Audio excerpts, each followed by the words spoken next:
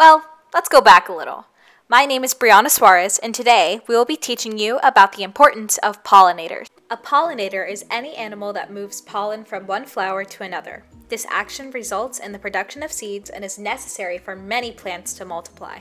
Did you know that about 33% of your food is from a pollinator? The most popular pollinator is a bee. This here is a beehive. The cells inside the beehive are typically used to store food and house eggs. Beehives serve several purposes, including the production of honey and pollination of nearby crops. See this empty hole? This is called a cell. These cells are filled up with nectar and are used to make honey. The white wax that is typically seen on a beehive is to cover up these cells. In each hive, there is one queen bee. The queen bee's job is to lay eggs, which will then grow up into more bees. The eggs hatch into larvae and are taken care of by nurse bees. Can you see how every bee has a job in the hive? The bees we normally see day to day are worker bees. They travel from flower to flower collecting nectar and pollen.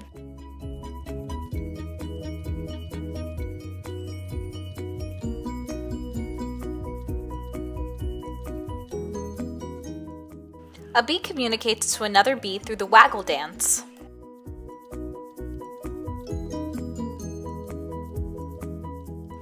Most dances look like a figure eight.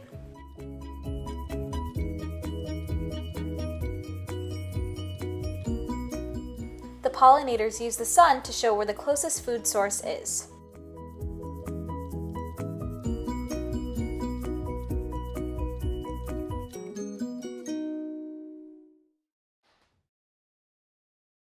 Let's make some pollinator pencil tops.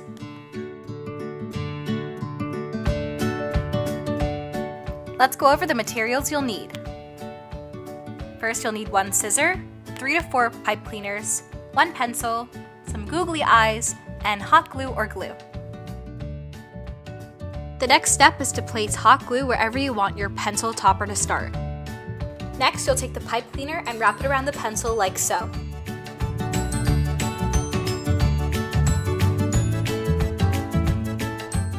Keep in mind there are many different pollinators you can make.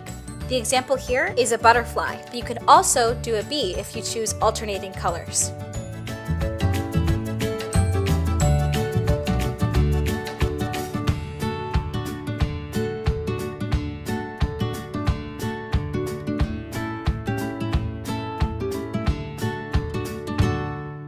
After you're done wrapping your pollinator, you should then cut off the excess. Next, we're going to move on to make the antennas of the pollinator.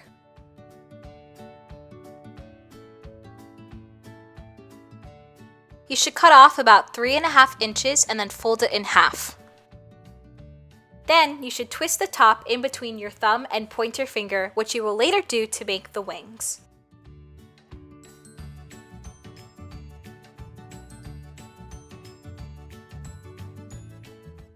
This is what your antenna should look like all rolled up. In order to hide the base of your antenna, you're going to want to roll back a little bit of your pollinator's body. Place a little bit of glue on the eraser and your antenna should be secured.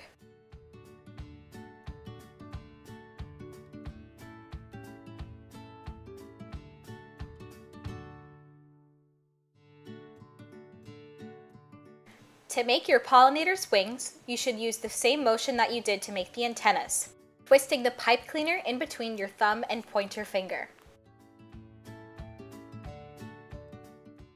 Stop about halfway and then flip to the other side.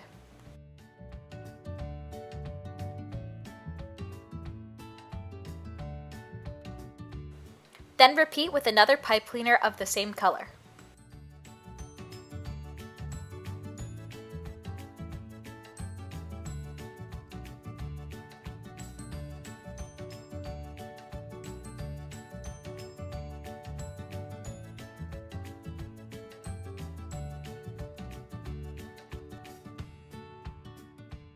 Reshape the wings as best as possible to make sure they're somewhat even.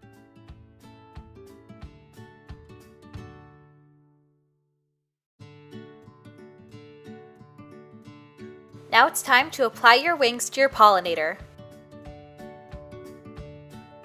Place a strip of glue on the side of the pollinator to secure the first wing.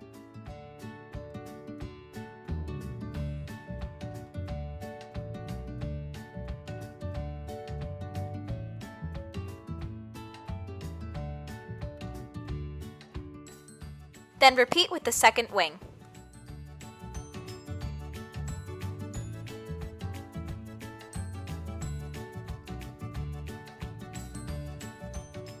The final step is to apply your googly eyes. Place two dots of hot glue and secure your googly eyes on your pollinator.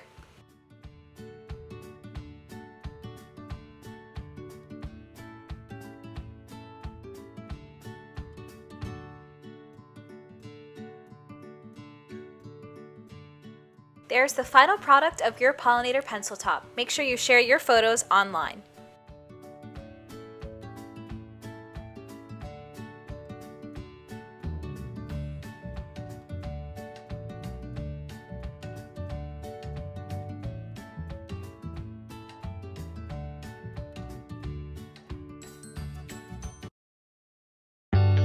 For the next activity, we'll make pollinators out of toilet paper rolls. The materials you'll need is one toilet paper roll, two to three sheets of paper, one scissor, and a hot glue gun. The first step is to wrap pieces of construction paper around your toilet paper roll, in any order you choose. To make a bee, you should use two alternating pieces of construction paper, but to make any other type of pollinator, you can use one entire construction paper color for the entire body. You'll want to secure these pieces of construction paper with hot glue or glue.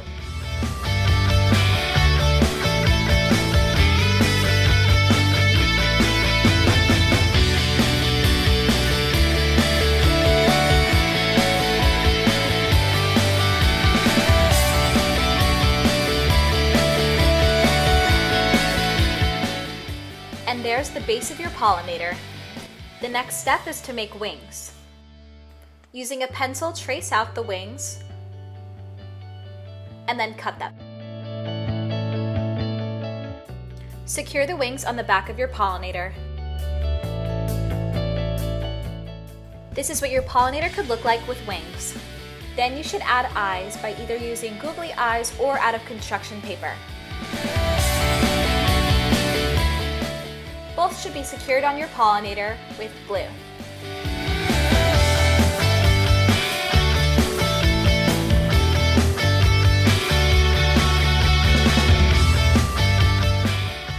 The last step is to use some leftover pipe cleaners to make antennas. Using your pointer finger and thumb, roll the pipe cleaner to make the antenna. And there's your final pollinator.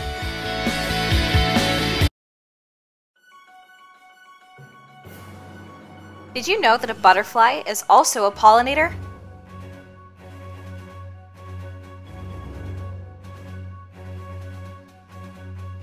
Butterflies' wings come in all colors of the rainbow.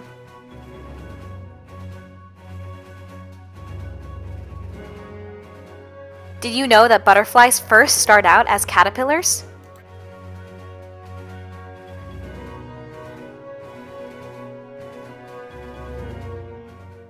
There are four stages in a butterfly's life cycle. First, it starts as an egg, then it goes to a larva, a pupa, and finally a beautiful butterfly.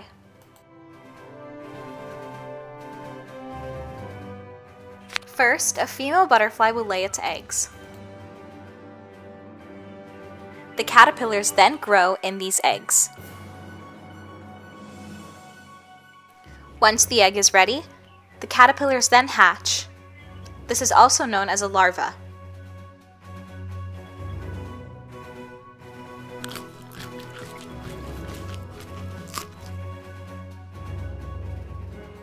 The caterpillar sheds its old skin in order to get new skin.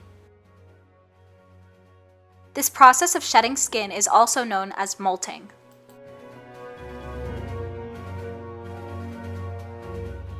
Then the caterpillar changes into a pupa. The caterpillars really just hang upside down in this state. The cocoon is also called a chrysalis. In its chrysalis, the caterpillars developed wings. Finally, the caterpillar breaks out of its chrysalis and there's a beautiful butterfly.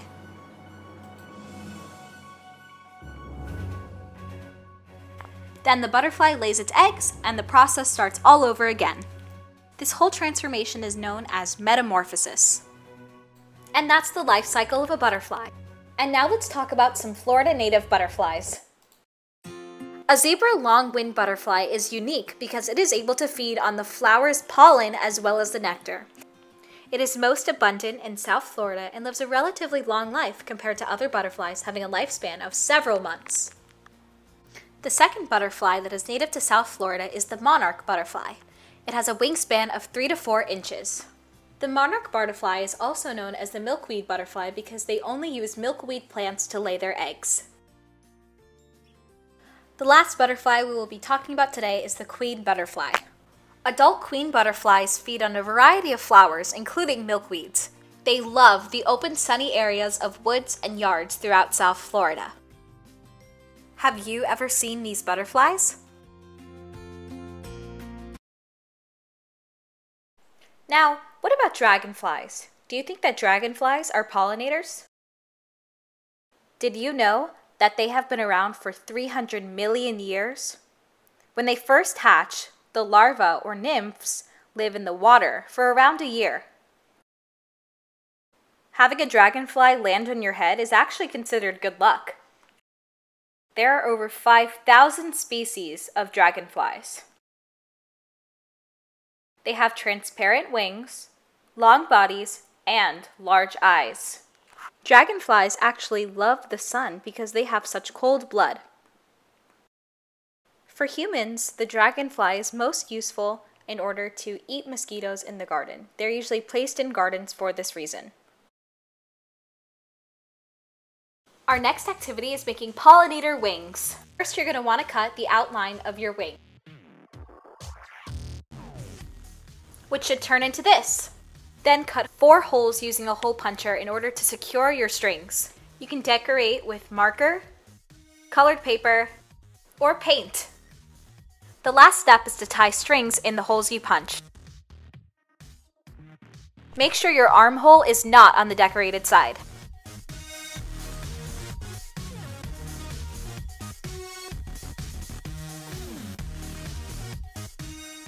And there's your final product of the pollinator wings. Now, you may be asking, what are the best plants to plant? I'll help you out with the best host plants to plant for a home garden in Miami. The corky stem passion vine are usually one and one half inch to four inches in length. Insects will use them as a source of nectar, and the zebra long-winged butterfly will collect pollen from them as well.